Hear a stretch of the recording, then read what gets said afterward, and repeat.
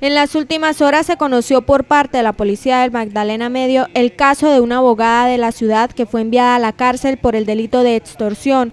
Familiares de la mujer aseguran que quien la denunció fue la misma persona que años atrás cometió un delito sexual contra menor de 14 años y que hoy ha querido perjudicarla. Mi hija a la edad de 6 años fue abusada sexualmente por un delincuente el cual hoy está enlodando el nombre de mi sobrina Erika Conver Elles, abogada de la familia, porque fuimos nosotros los que le dimos a ella el poder para que llevara el caso de mi hija. La familiar de la abogada asegura que su sobrina es totalmente inocente y que según ella el verdadero agresor se encuentra en libertad.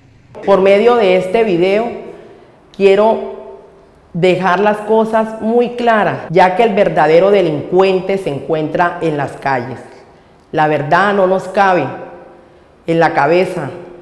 Eh, la triste realidad de, de la justicia de nuestro país, donde los verdaderos delincuentes, criminales, violadores, abusadores, se encuentran en las calles acechando a niñas inocentes y las personas de bien se encuentre recluida pagando un delito que nunca hizo. La mujer pide a las autoridades que investiguen de fondo este caso y de esta manera hacer justicia.